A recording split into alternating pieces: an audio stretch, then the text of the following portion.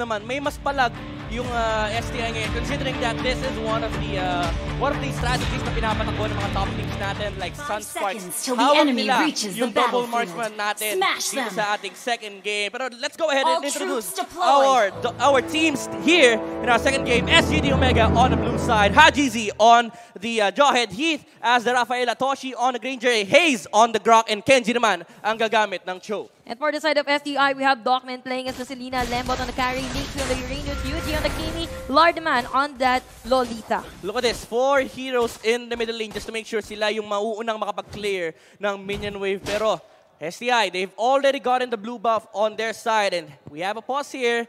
And uh, gusto ko lang i-discuss dito no, yung difference ng uh, dalawang lineup natin. STI, they have the double marksman. Uh, pinapakita to ng uh, Sunspots. Ang lakas kasi ng scaling potential nito. eh. Mind you, this is a Kimi na may early game uh, timing. Tapos may carry ka na isang late game monster. When you compare that to SGD Omega, meron silang uh, incredible timing dito on their lineup. May specific window sa game na sobrang hirap nilang pigilin. So you have two opposing ideas. May isang lineup na kailangan nilang gamitin yung window na yon. And kapag hindi nila nagamit yung window na yon, it will definitely scale towards the the, uh, the side of STI. Yeah, ang tiniti ang gusto ko lang makita dito is kung magiging effective ba yung Selena pick Yeah. ng side ng STI. Kasi all throughout na napanood natin ng mga Selena, hindi sila masyado naging effective. Mhm. We all know, Selena, kailangan mong ipasok yung arrow. Especially in the early game. Yeah. Kailangan mong makuha yung early kills nyo kasi mag invest kayo sa time. Kung hindi kayo makakabanse, sayang yung investment na ibibigay. If mapapa-workout din nila, itong si Granger. Granger, kapag ka napugo yan ng early game, mahihirapan. Oh, Medyo yeah, mahihirapan siya makabawi sa late game. And we have Kimi nga na mabilis na mag-scale. Especially early game to mid game. Pero jumping Lard? back into the game, medyo nagdedelika dito si Lard. Pero nasalo. Oh, Neto, ni. Glock kanina, pina, kanina binabanggit natin si Glock na sumasalo ng araw. Pero not like this. And that would be an instant first blood na makukuha dito ng STI. Sabi ng STI, pre, pre, sasaluin daw niya. Tara, tatlin natin. Sinalo nga ni Hayes buong buo. Level 1, yun naman yung problema. Level 1 lang siya. Level 1 nga Malakas pa naman yung damage output ng STI dito. And now, they've claimed the ano, they've claimed the uh, early game advantage against SGD Omega. Ang question lang is sino nakakuha nung uh, Lido Wanderer. Yup, yun nga yung ating titignan later. But still, walang malak ah, walang makunat sa marami. Oh, yeah, yun, yun definitely. ang nangyari doon. And that's sa Kimi na humarap sa kanya. And ang kagandahan nun, Kimi din yung nakakuha ng kill dito Yeah. for the side of STI. They need that. They need the ano, eh, they need the early game advantage against the lineup of uh, SGD Omega kasi again, ito yung pinag-uusapan natin kanina.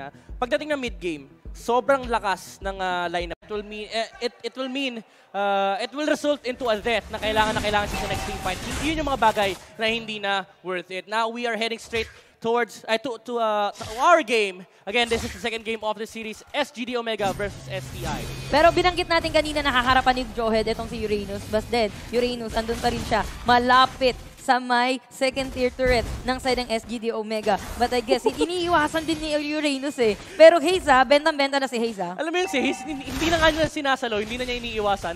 Literal na tinatamaan lang siya eh. Literal na tinatamaan lang din siya. Pero ang kagandahan nun, level 4 na dito si Hayes. Yep. And even though saluhin niya na yung araw dito ni Docman, kayang-kaya na ng tayuan or kayang-kaya na masurvive yon. And surprisingly, even though STI ang nakakuha ng first blood dito, seems like SGD sila yung mauuna in terms of the um, level. nouvelle. Yeah, I like this play coming out from SGD Omega. They cut the waves kung saan magpupunta yung Kimi. Nakita nila si Docman umakyat. Oh, look at the flicker! And the knockback on the Joe Kenji! Having the catch here on Yuji Kimi mga katupa. Numeron blast casted by the Lolita pero hahabulin pa rin sila ng SGD Omega. Naipit na sa tore si Yuji and it will mean the death of the Kimi. Naiwan si Lord. And At hindi sila tapos. Hindi pa sila tapos. The shields are Not up pero nagko-cooldown yan. Nawawala din yan. SGD Omega, they can wait for the next wave. Sabi, pero sabi ni Hayes, eto babatuyin kita ng pader! Kayang-kayang kuyugin. Apat sila dito sa taas. Magiging sakripisyo nga lang dito si Rafaela but it's still worth it dahil dalawa yung napatay nila dito and they will get the first tier turret at the top lane ng side ng SDI. Another arrow coming in pero wala na dyan si Wala, eh. sabi ni Hayes, Wala wala si doon, Hayes wala eh. ako doon. Bala kayo dyan. Hindi ka hunted, hindi ka hunted. And STI, ito yung tanong mo kanina, can they hold the, the advantage that they have? The answer from Mm-hmm. SGD Omega is hindi. Pipigilan namin yan. The play was, kung nasan yung Kimi, i-cut natin yung susunod na minion wave para walang gagawin yung Yup. STI on that specific lane. And ang ganda dito ng ginagawa ng SGD Omega, alam nilang mag-isa, alam nilang walang Uranus, walang Yeah. protect masyado dito, yung SEI, only the Lolita. And alam nila kung kailan baba yung barricade dito ni Lolita, alam nila na hindi kayang protektahan ng STI yung mga course nila sa may bandang likod. Yeah, top lane, STI. They're resuming the pressure na ginawa nila kanina. Dito ngayon, may minion wave na si Kimi and they will be able to get the first turret on the top lane. SGD Omega nakapwesto sa may Oh. baba, taking down the Uranus with the Granger on the red buff. Tatlo yung tumaglay kay Uranus sa talaga, ball. Pinatay nila Mm, sabay transition sa turtle. And this is the transition of objectives for SGD Omega. Getting the turtle on the bottom lane, securing the heavy lead on this Granger. Pero top lane, STI, hindi nila pinapabayaan yung pressure. This is a Kimi thing. Talagang hindi niya tatantanan yung mga tore niyo. Hanggat kaya niyang barilin yung mga tore, yan lang yung babarilin niya. Yeah, talagang objective lang yung ah, tinitignan dito ng isang Kimi dahil yun nga yung pinakakailangan nila pero medyo nagdedelikado dito itong si Haji Z na nakakagat nila. Woo! The damage from Toshi! And yung wild charge, Rafaela to secure that kill para sa side ng SGD Omega. Wala, hindi sinalo ni Jesus Pana. Hindi, hindi. Hindi na to counted yun. Minus Wala one, na. minus one. And ito, STI losing the carry in the middle lane. Surprisingly, siya pa yung nasa harap. Para, gusto niya kasing potensiyan eh, si Haji kanina. Unfortunately, hindi talaga enough yung damage output niya. And I think medyo wishful thinking din yun kasi may flicker pa si Haji. Yep. Kayang-kaya din. At doon Oh, lang eh, malapit God. din dito sila Toshi and sila Hit. So, he should have known na hindi niya na kailangan dinash in pa Yeah. itong si Haji. Hindi niya na dapat hinabol. Knowing na mali- medyo malayo din yung mga backup doon ng STI. Pero ang lalim dito ni Hay. Oh, Okay? hindi. Hindi nagiging effective dito yung Uranus nila na Yeah. kanina pinag-uusapan natin. And SGD Omega, they are going for the invade na tinatry na nilang kontrolin yung mapa dito ng STI Yep. and pinapaliit nila yung farming space kumbaga ng isang carry na yun ang kailangan na kailangan ni Lempot. Pero Look at another this. wild card na binigay Oh, lane, Sonata! Pero tower lang ang gusto ko. Pina- yung ano, pinatikim lang. Ito yung nakakatakot sa timing ng SGD Omega. Once again, they're controlling all three lanes ng STI. Wala sila nakuha. The blue buff was stolen by SGD Omega and the red buff as well on Toshi. Hindi na nagbibiro. Kenji gets the catch here on Lembot. Fortunately for him, meron siyang Purify. Pero that is gonna be the uh, trade-off na makukuha ng STI dito. SGD Omega, wala sila nakuha kill pero they got the resource lead. Ang sakit nito kasi si Nixon, nilalayuan niya si Johet. Bala ka dyan. Bahala ka dyan. Kasi kung lalapit siya, tatapag din naman siya. Yeah. Wala kang choice eh. Pero nakagat nila dito itong si Kenji. Kenji caught off guard. He's gonna die sa may kamay ng apat or tatlo sa side ng STI. flip Pero shot. another arrow na naman. Again, counted yun. Yeah. Counted Trap yun. yun, trap yun.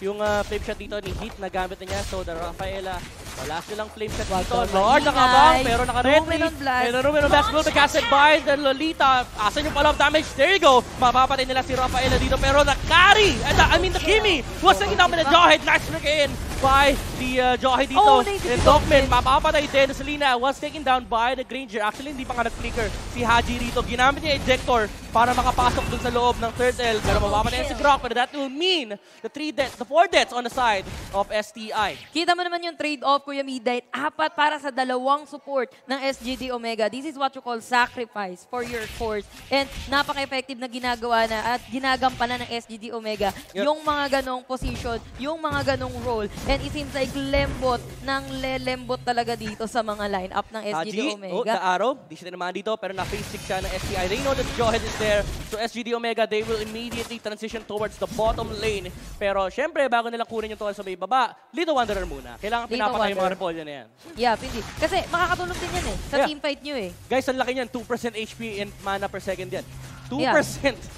Para kami blue buff niyan, di ba? Kayang-kaya na nang magtagal sa isang teamfight. Yep. And ang lakas na ng ambag niya, kumbaga, kumbaga mas malaki, parang magiging malakas pa nga yung hit niya kaysa kay Uranus eh. Grabe naman si ano, si Toshi, nasa kanya na lahat.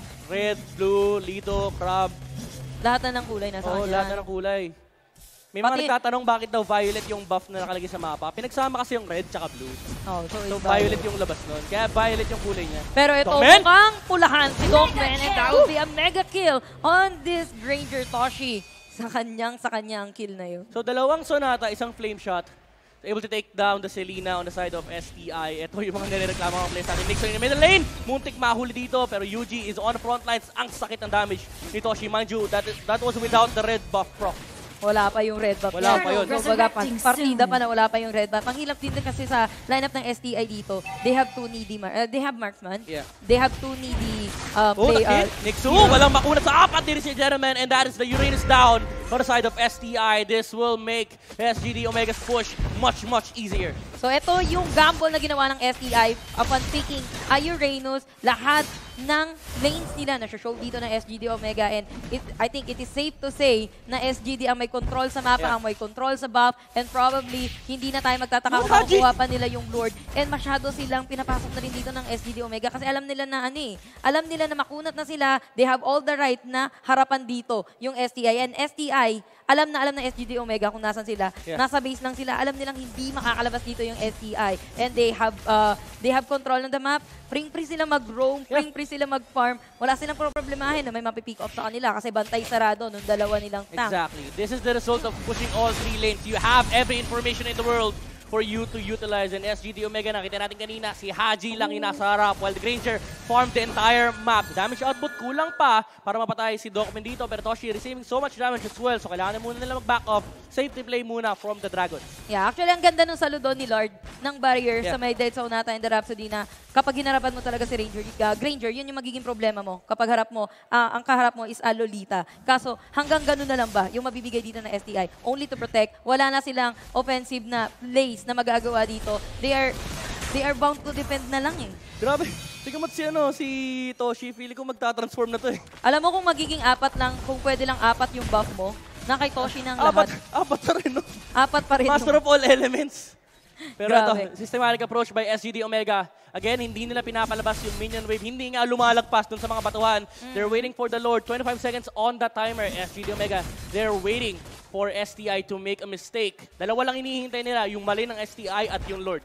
Yeah, kung yung makakahanap sila ng mistake para sa side ng STI dito, sa, uh, I mean, kung makakahanap ng mistake dito yung STI against SGD Omega, hindi pa rin naman masyadong, hindi pa rin sila Yeah. makakabawi agad-agad eh. Hindi ganun kabilis yung, Hindi uh, ganun kabilis. Sabihin natin manakaw nila dito yung Lord, magkakaroon lang sila ng time at least para makahinga para sa side ng STI. But not at all na makaka-comeback sila. Siguro mga tatlong Lord pa yung kailangan Yeah. nilang nakawin, enable, para ma-flip yung game natin to their side for the STI. Pero kita mo yung ginagawa dito ni Kenji and Neto ni HGC. Talaga, I mean ni Hayes. Talaga binabantayan lang nila eh. O sige, mag-Lord na kayo dyan.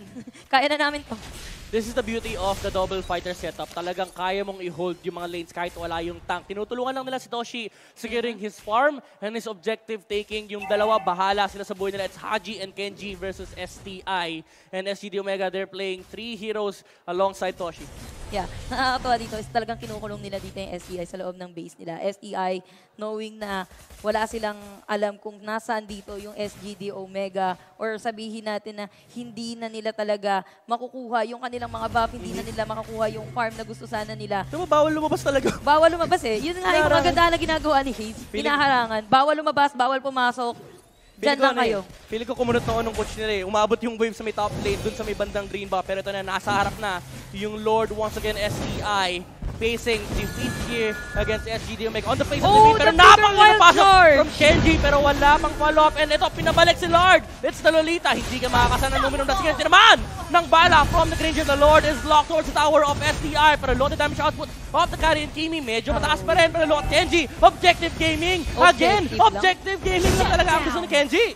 Yeah, walang magawa na dito yung STI. Kasi once na pumasok ka na talaga, napakaganda din nung Flicker Wild Charge. Parang pangalawang beses na natin nakita yung Flicker Wild Yeah. Charge na yan. Pangalawang team na gumamit ng Flicker Wild Charge.